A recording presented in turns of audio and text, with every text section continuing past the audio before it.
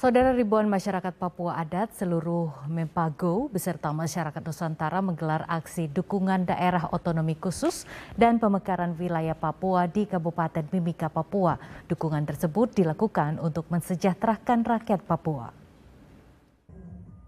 Dengan berjalan kaki dan membentangkan bendera merah putih sepanjang 200 meter, ribuan warga di Kabupaten Mimika, Papua turun ke jalan untuk menyampaikan aspirasinya dalam rangka mendukung otonomi khusus atau daerah otonomi baru DOB Papua Tengah dan pemekaran wilayah Papua. Masa aksi mulai bergerak dari kota Mimika menuju kantor Bupati Mimika sekitar pukul 9 waktu Indonesia Tengah.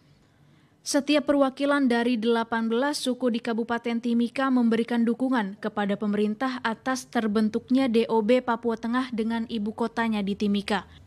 Tiga poin yang menjadi pernyataan deklarasi kali ini yakni mendukung upaya penyelesaian konflik di Papua secara bermartabat demi terciptanya Papua damai, mendorong penyelesaian masalah Papua secara rekonsiliasi dan restitusi menuju Papua yang aman dan mendukung implementasi Undang-Undang Otsus Nomor 2 Tahun 2021 dan rencana pemekaran DOB menuju Papua damai dan sejahtera. Dalam hal ini, untuk kita kegiatan hari ini menerima dengan semangat masyarakat asli suku Amume dan suku Kamoro semangat dan gembira untuk kota provinsi Papua Tengah.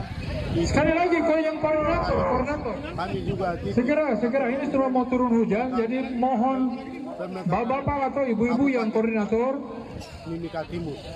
Dan dengan adanya kehadiran eh, pemekaran Provinsi Papua Tengah dari Kota di Timika, saya secara, secara pribadi atas nama orang-orang tua yang mendahului saya, ulang berulang, yang ada di pelosok di daerah-daerah pedalaman, yang ada di Kabupaten Timika, saya betul-betul secara pribadi sangat mendukung 100%.